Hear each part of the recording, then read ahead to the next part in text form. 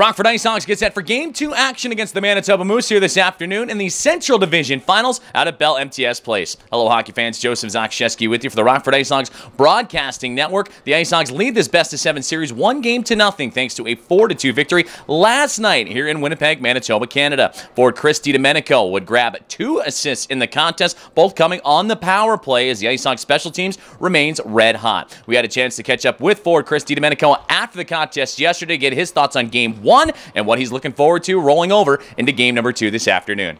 Tom Ford, Chris DiDomenico after game one action against the Manitoba Moose. Chris, you had two assists in the contest. I mean, walk us through game one. You're facing a new team. Obviously, a lot of excitement to get a new series started, but uh, what's your takeaway? Well, we know they're going to come out strong. They got a great team over there, and we just try to match their intensity up there. You know, the first period wasn't our best, but I thought we uh, got better as the game went on, and you know we're right back at it tomorrow. And, you know they're going to bring their best effort tomorrow, so we got to match it starts were uh, a point of talk for head coach Jeremy Colliton wanting to have a better start. I mean, what does that entail against a team like Manitoba that has a little bit of everything?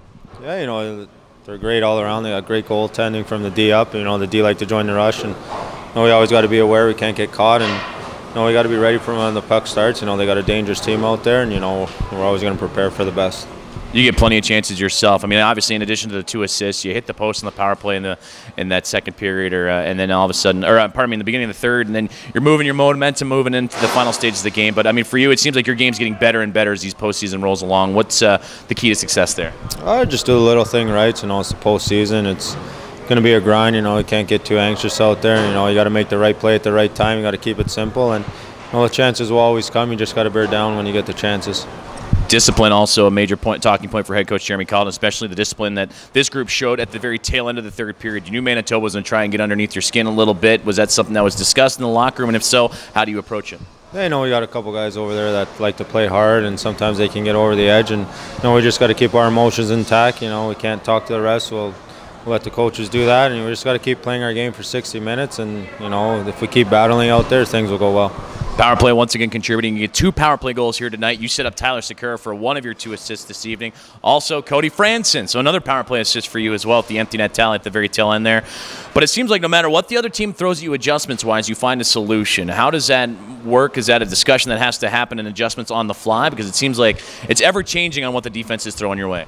Well, you know, we talked about before the game. We watch some videos, see what they're going to do, and we just adapt. You know, it's, it's all about your hockey sense out there. So, you know, they're going to take one play away. We, we got the extra man out there, so someone's always going to be open. And, you know, we just got to stick to what's, uh, what's what we're doing right right now and just stick to what's happening. And, you know, if we keep going on the power play, good things should happen and then a quick turnaround for game two action on uh, tomorrow afternoon. I mean, what has to happen for the Ice Hogs to to go back to Rockford with a two nothing series lead? Because you know Manitoba is certainly going to do everything in their power to make that uh, not the case. Yeah, you know they're going to come out flying tomorrow. We just got to get our rest and you know prepare. We got to match their intensity tomorrow right off the get go, and you know it's going to be a 60 plus game, and we just got to keep moving forward.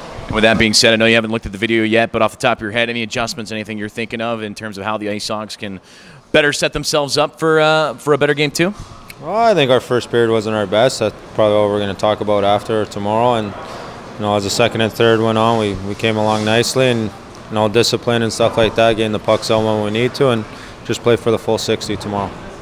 Special thanks to Ford Chris DiDomenico for joining us here on the Rockford Ice Hogs Broadcasting Network ahead of Game 2 action between the Ice Hogs and the Manitoba Moose out at Bell MTS Place in Winnipeg, Manitoba, Canada. The Ice Hogs lead this best of seven series one game to none, looking to take that 2-0 lead back home to Rockford, which Game 3 will be on Wednesday of next week, Game 4 on Friday, and if necessary, Game number 5 will be on Saturday, all at BMO Harris Bank Center. Tickets are on sale right now at icehogs.com. But as you just heard from Chris DiDomenico, this is going to be a tough Manitoba Moose to take on here in Game number 2 as they do not want to go down 2 to nothing with the series shifting back to the Forest City. Well, puck drop just right around the corner for game two action. You're listening and watching Rockford Ice Hogs hockey on the Ice Hogs Broadcast Network.